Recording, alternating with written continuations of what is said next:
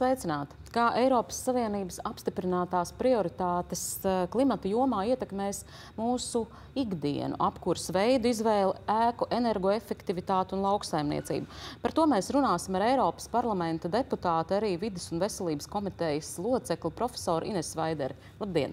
Labdien!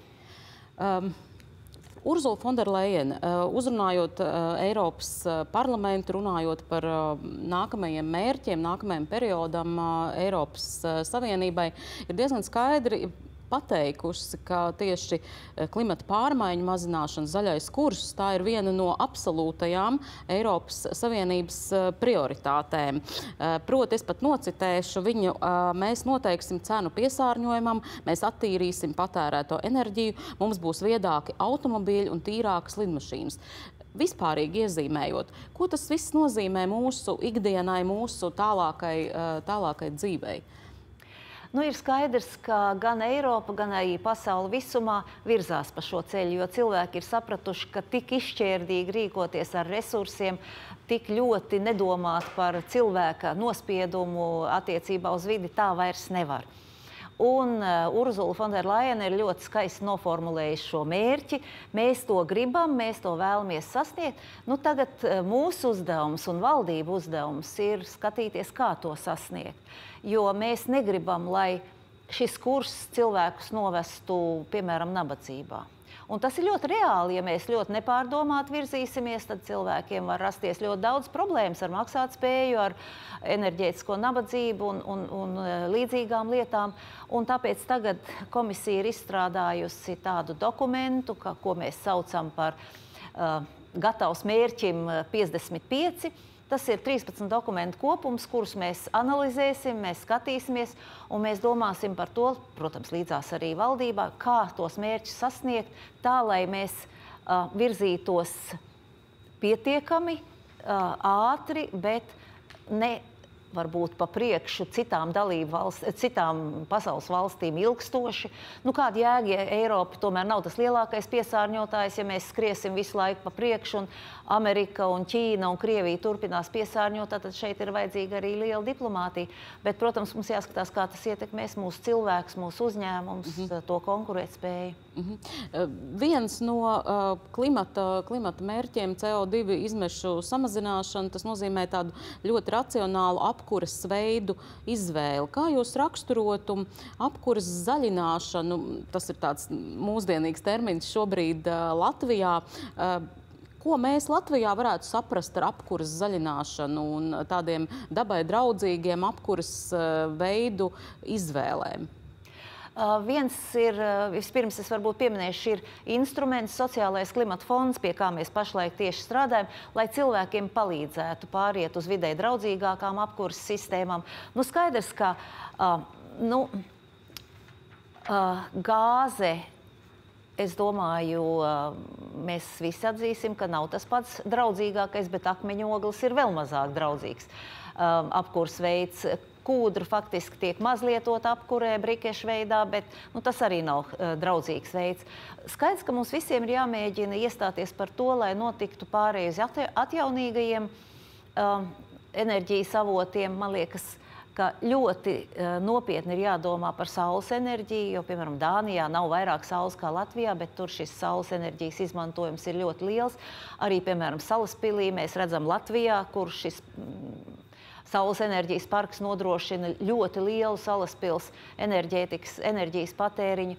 Eh, jādomā par vēja enerģiju, lai gan es personīgi neesmu vēja enerģijas entuziasti, jo man, Kāpēc? man nepatīk tas, kā tiek eh, vide piesārņota ar šo, jo ainava arī ir vide, un man nepatīk, piemēram, šīs lielās uh, turbīnas, un, un, kas arī nu, traucē, liekas, gan cilvēkiem līdzsvaru zudumu, un arī, arī sliekām nepatīk, un citiem zvēriņiem. Uh, Bet man liekas, saules enerģija tas, pie kā būtu ļoti nopietni uh, jāstrādā. Arī šis enerģijas veids, ko mēs saucam par fusion enerģiju, tātad arī tāds, zinām, nu, kā saka, eh, fizikas termiņu pielietojot. Tas arī ir tas, kas viss jā, jāattīst. Ir. Bet tas jau nav katra cilvēka individuāls, tas ir valsts uz, uz, uzdevums. Individuāli cilvēki varēs saņemt ieteikumus un uh, pār, pārkārtot savas uh, apkurses sistēmas uz draudzīgākiem veidiem.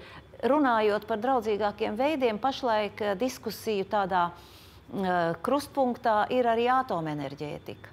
Jo tas, ko mēs redzējām, piemēram, Vācijā, kad viņi dramatisko Fukushimas um, notikumu dēļ praktiski slēdza gandrīz visas atomelektrostacijas, tas noveda pie tā, ka vairāk sāka vācieši dedzināt atkal akmeņogles, un tas ir izmešu daudzums palielinājās.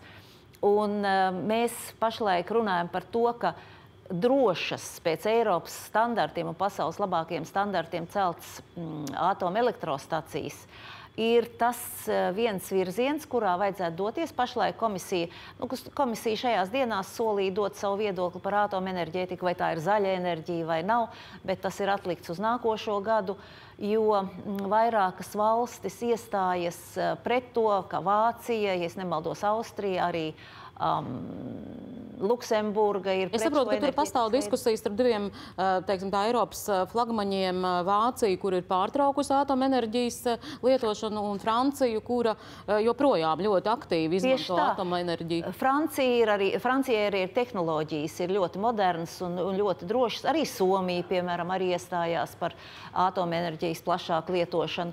Arī valstis, ko mēs kādreiz saucam par Višegradas valstīm, arī ir par šo enerģētikas veidu, arī Bulgārija. Mūsu pozīcija ir diezgan atturīga bijusi līdz šim, bet es arī ieteiktu tomēr apsvērt, vai, piemēram, Visaginas projekts tādā vai citādā izpildījumā tomēr nebūtu tas, kas uh, dotu, dotu gan videi draudzīgāku enerģētiku, gan arī palīdzētu perspektīvā enerģētiskai neatkarībai, kas Latvijai ļoti ir būtiski, un, un varētu arī samazināt cenas. Jo neoficiāla informācija liecina, ka komisijas lēmums varētu būt pozitīvs attiecībā uz to, vai atomenerģija ir ielikās videi draudzīga vai nav. Drīzāk pieņems, ka ir draudzīga. Es saprotu, ka tur, tur ir arī tāds eh, ļoti svarīgs starpvalstu attiecību moments, jo, ja mēs atceramies uh, Visagins atomelektrostacijas uh, projektu, uh, savulaik uh, projekts apstājās uh, Lietuvas attieksmes dēļ, kur pateica, ka jā, jūs uh, Igaunija un Latvija ieguldiet uh, lūdzu tur liels līdzekļus, uh, bet um, nu, mēs izmantosim lielāko daļu iegūtās iegūtās enerģijas. Um, um, vai Eiropas Savienība, Eiropas komisija varētu, piemēram, pateikt, ka viņi ieguldīs lielāko līdzekļu daudzumu um, šādu projektu realizācijā un, uh, un arī noteiks to proporciju, kā dalība, kā tās valsts, kas piedalās šajā projektā un var saņemt enerģiju no tā, varētu izmantot iegūto elektroenerģiju? Es nevaru izslēgt šādu scenāriju, kā arī Eiropas Savienība varētu aktīvāk uh, pievērsties dažādu enerģētikas avotu uh, īstenošanai, ja tas tiks atzīts par videi draudzīgu, jo mums jau arī fondu naudu un arī ir paredzēta tomēr videi draudzīgas enerģētikas stimulēšanai. Tas, tas tā ir. Kā tas tiks sadalīts, tas ir atkal cits jautājums. Bet šeit varbūt tiešām vajadzētu, man liekas, izmantot to, ka pašlaik, manuprāt, attiecības starp trijām Baltijas valstīm ir ļoti labas un varbūt ir jāatjauno šī diskusija un jāmēģina eh, līdzsvarot eh, šādu projektu. Nu, skaidrs, ka atomelektrostacijas celtniecība tas ir ilgstošs projekts, mm. ātrāk par desmit gadiem vai diez vai var uzcelt, bet ilgtermiņā mums jādomā par savu enerģētiku, tāpēc tagad ir jāsāk par to runāt. Uh. Gāzes, gāzes cenas mēs jau ilgstoši runājam par to, ka gāze no vienas puses ir nu, protams, mēs esam atkarīgi no, no Krievijas uh, tieši gāzes izmantošanas jomā, bet tajā pašā laikā nu, tas ir pats lētākais uh, veids, kas ļauj plaši apkurināt uh, Latvijas ēkas, uh, telpas, un, un tas ir visplašāk izmantojamais resurss. Vai vispār būtu iespējama situācija, ka mēs nokāpjam no Krievijas gāzes sadatas? Nu, es domāju, tā, ja Krievija būtu demokrātiska valsts, valsts ar vērtībām, uz ko var paļauties, eh, tad varbūt mums arī nevajadzētu tik ļoti steigties, jo katrā ziņā gāzes izmeši ir mazāki nekā, piemēram, akmeņogļu vai kāda cita kurināmā izmeša. Bet, eh, bet nav, nevienam jau nav noslēpums, ka Krievija var jebkurā brīdī politisku mērķu dēļ pārtraukt gāzes apgādi. Piemēram, tas, ka Krievija atteicās uzpildīt, faktiski neuzpildīs um, tās krātuves, kas ir rietuma Eiropā, lai gāzes cenu tagad uh, dubultotu. Nu, tie ir visi tādi politiskas manipulācijas piemēri, un tas tomēr liecina par to, ka mums ir jācenšas aiziet no šīs gāzes uh, tiešām adatas Eh, kā jūs pareizi teicāt. Nu, viens moments ir tas, ka tomēr ir klaipēdas termināls, kas mums paver iespējas saņemt sašķidrinātu gāzi, piemēram, no tuviem austrumiem, no Norvēģijas, no Tas būtu jāizmanto, tas būtu jāizmanto plašāk arī Latvijā. Es domāju, būtu iespējams ka... jāceļ sašķidrinātās gāzes termināls. Es domāju, jā. Es neizslēdzu tādu lietu. Man liekas, ka arī par skulti bija runa. Jā. Uh, nu, protams, šeit iedarbojās vienmēr tas uh, moments, kā saka, uh, NIMBY effects, not in my backyard. When Ir labi celt to terminālu, pagalmā. bet tikai ne manā pagalmā, ne? Tā kā skaidrs, ka cilvēkiem, kas tur dzīvo, viņiem šis projekts liekas apdraudošs un nepatīkams. Latvijai kopumā, man liekas, tas nebūtu neizdevīgi, jo uh, vajadzības gadījumā mums būtu alternatīva, un mēs varētu arī, iespējams, ja Krievijas monopols ļoti paaugstinātu cenas, mums būtu iespēja tomēr šīs cenas kaut kādā veidā līdzsvarot. Tā kā man liekas, ka šo projektu tomēr tā nu, nevajadzētu tik, tik ļoti uh, nolikt malā. Tieši tāpat kā visagīna. Tas nu, ir jādomā ne tikai par pandēmiju, ne tikai par tām sekām, bet jādomā, kā mēs dzīvosim tālāk. Un enerģētika ir ārkārtīgi nozīmīga cilvēkam. Cik atkarīgi mēs esam no elektrības, to cilvēku izbauda. Tad, kad teiksim, pārtrūkst elektrība, tu pat mobīlo telefonu vairs nevari mhm, uzlādēt. Mm, neko, un, ja tev nav mobilā telefona, tad tevis nav vispār šobrīd. Tā jau tas ir. Parunāsim par tādu aspektu, kas zaļā kursa politikas ietvaros skar tieši jūs, proti tā ir ēku energoefektivitāte. Jūs esat kļuvusi par Eiropas renovāciju vēstniece Latvijā. Ko nozīmē šis status un kā tas attiecās uz Latvijas iedzīvotājiem un mūsu turpmāko dzīvi? Jā, es esmu ļoti pagodināta, ka man šāds status ir piešķirts. Tas ir tāds zināmā mērā pagodinājums, bet tas uzliek arī par pienākumu rūpēties par šo uh, ēku renovāciju, par šo attīstības virzienu. Es ļoti atbalstu ēku renovāciju. Nu, kāpēc? Vispirms jau mums ir tik daudz ēku, gan uh, privātu, gan uh, sabiedrisku ēku, gan daudz dzīvokļu, gan maz dzīvokļu ēku, kuras ir ārkārtīgi nu, energo neefektīvas. Bet ceļš uz energoefektivitāti ir viens no ceļiem, kā mēs varam sasniegt vides mērķus, klimata mērķus. Uh, Tas ir viens moments. Cilvēki, renovējot savas mājas, pirmkārt samasi, samazina izmešus. Bet par to cilvēki daudz nedomā. Viņiem ir vienkārši siltāki mājokļi, ir um, patīkamāki, skaistāki mājokļi, arī īpašuma vērtība aug. Renovācija ir laba arī no otras puses. Tie, kuri veids šo renovāciju, tie uzņēmēji lielākoties strādā Latvijā. Tie ir Latvijas uzņēmumi. Tātad nauda paliek pašu mājās, nauda paliek Latvijā un arī rada papildus darba vietas.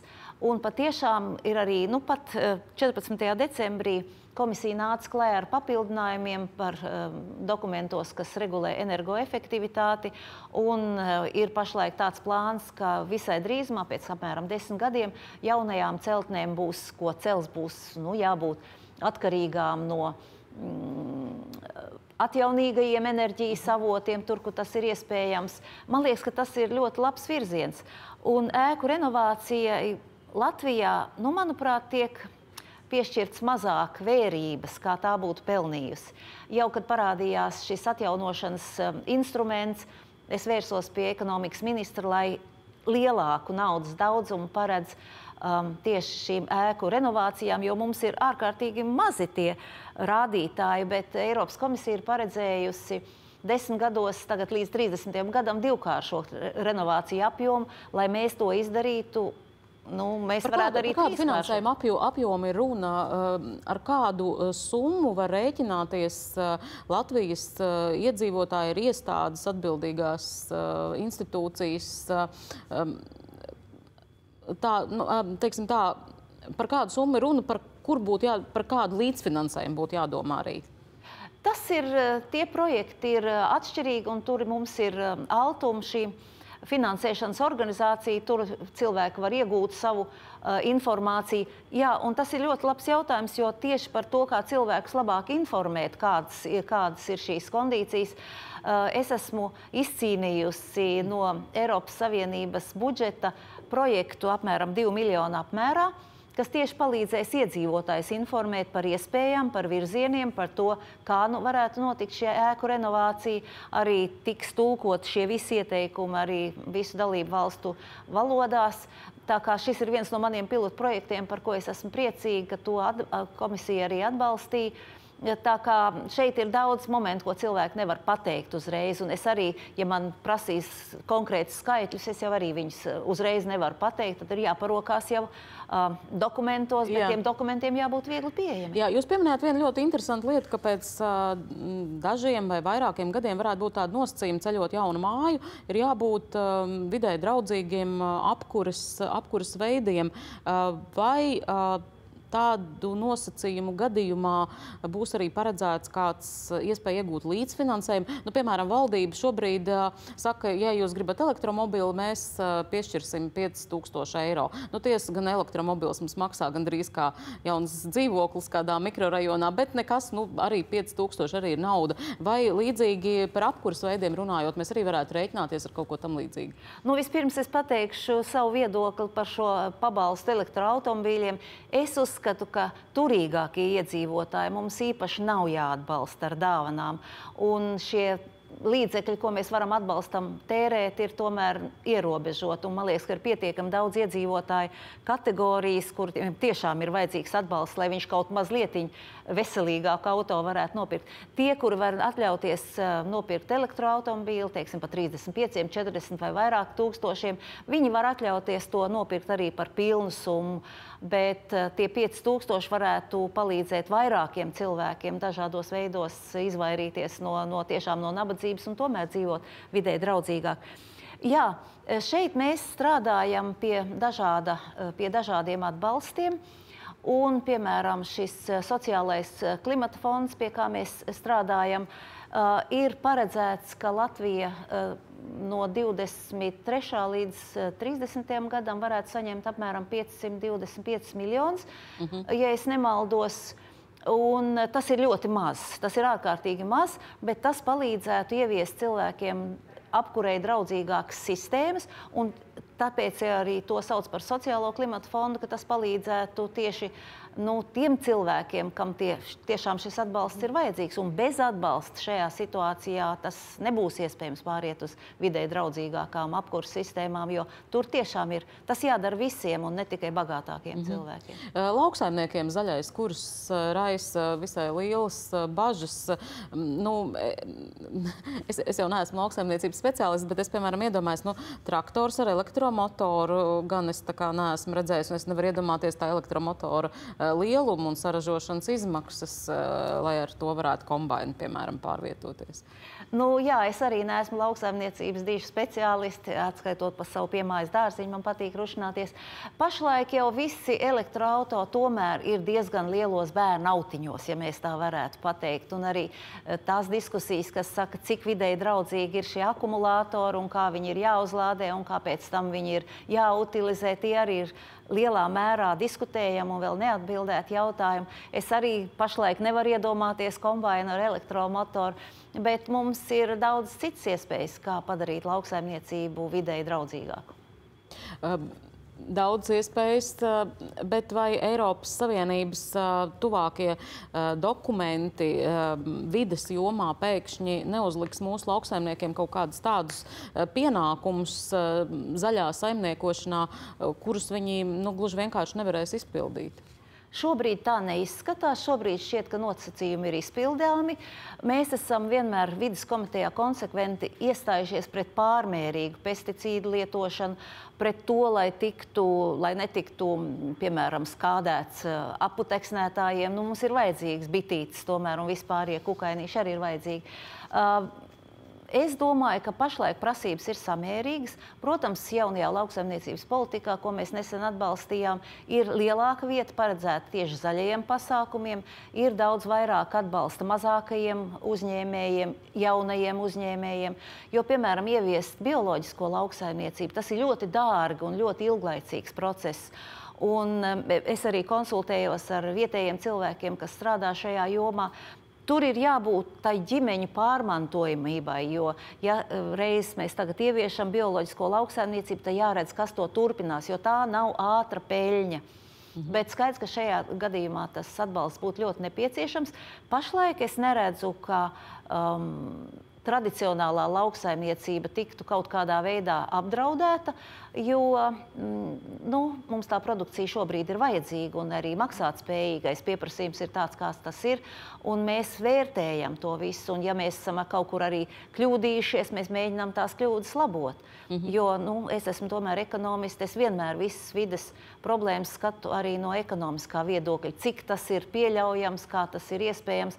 Tā vīzija, ko iezīmēja Fonderlaina, tā ir skaista vīzija, bet mums jāskatās, kā to īstenot. Jā, zaļais kurs un enerģētiskās nabadzības riski vai zaļais kurs un tās politikas, kas to skar, neietekmē tomēr šo elektroenerģijas cenu pieaugumu un kā šajā situācijā palīdzēt iedzīvotājiem un arī uzņēmējiem, mazam vidējam biznesam, kuram jārēķinās ar milzīgām eiro, elektroenerģijas izmaksām šobrīd. Nu jā, mums arī Latvijā, kā jūs zinat, ir šis likums par energo nabadzību un ir arī konstatētas um, apdraudētākās iedzīvotāju grupas, un tie visbiežāk ir uh, seniori, cilvēki virs 65 gadiem, īpaši tie, kas dzīvo vieni, daudz vairāk, diemžēl, arī sievietes, ja tās dzīvo vienas. Ir arī daudz bērnu ģimenes un, un uh, arī cilvēki, kas rūpējas par um, cilvēkiem ar invaliditāti. Tātad šīs ir, grupas ir identificētas. Uh, Eiropas Savienībā mm, tiek lēsts, ka tāda cilvēkam draud šī energo nabadzība, nu, kas nozīmē, ka viņš vai nu nevar mājā pietiekam temperatūru uzturēt, vai nevar samaksāt savus rēķinus, ir apmēram 6%. Latvijā tiek lēsts, ka tāda varētu būt no 6 līdz 10%. Tā kā mēs apmēram esam šajā šajā, šajā uh, rādītājā mēs apmēram iekļaujamies, bet skaidrs, ka mūsu iedzīvotāju ienākumi nav tik lieli. Bet nu, rēķina atkal dārgāk varbūt ir Vācijā. Bet uh, ir nopietnas atbalsts ir vajadzīgs šīm iedzīvotāju grupām. Nu, tas, ko valdība ir mm, darījusi, piemēram, senioriem, kas ir vakcinējušies, ir šis pabalsts, ja nemaldos, 20 eiro 20 uh, mēnes, eiro, mēnesī. Tas... Tad ir arī šīm jūtīgajām grupām, daudz bērnu ģimenēm, cilvēkiem, kas rūpējas par uh, cilvēkiem ar invaliditāti, arī ir um, dažādi atvieglojumi, ir uh, arī rēķinos ir uh, atvieglojumi. Kā, kā būtu tomēr efektīva, tas, efektīv, efektīvāk palīdzēt uzņēmējiem, mazam un vidējam biznesam? Vai būs pietiekami tikai ar Latvijas valdības lēmumu samazināt par 50% sadalas tīklu tarifu? Nu, iespējams, ka tas eh, arī daudz nevarētu palīdzēt, bet tas ir uh, valdības uzdevums sekot līdzi, jo mazais un vidējais bizness mums ir ļoti nepieciešams, un arī tas, kurš ir energoietilpīgs. Nu, protams, te ir jādomā arī par energoefektivitāti. Arī šajiem uzņēmumiem ir jāvērtē, vai tie darbojas pietiekami energoefektīvi, bet tas ir tāds novērojams um, moments, un jāskatās, vai, vai tas būs pietiekami. Pašlaik es neesmu īpaši optimistiski, es nedomāju, domāju, ka ar to vajadzētu pietikt. Bija runa PVN par PVN samazināšanu. Jūsuprāt, ir, ir variants? Tas atstātu PVN samazināšana, mm, ja arī tad, ja mēs limitētu laika posmu, kad tas notiek, tas tomēr atstātu ļoti negatīvu iespaidu uz budžetu. Un, uh, mums ir tiešām cilvēki, kam ir jāpalīdz, un es domāju, ka mums nav iespēja samazināt šobrīd izdevumus un vienkārši atstāt bez palīdzības cilvēkus, kam tas ir ļoti nepieciešams. Mm -hmm. Es teikšu lielu paldies profesorai Inesai Vaidarai par šo sarunu. Paldies arī jums, cienījamie skatītāji. Domāsim par vidi, par energoefektivitāti un arī par to, to, ka valdība neaizmirsīs mūsu problēmās ar augstām elektroenerģijas cenām. Visu labu! Visu labu! Paldies!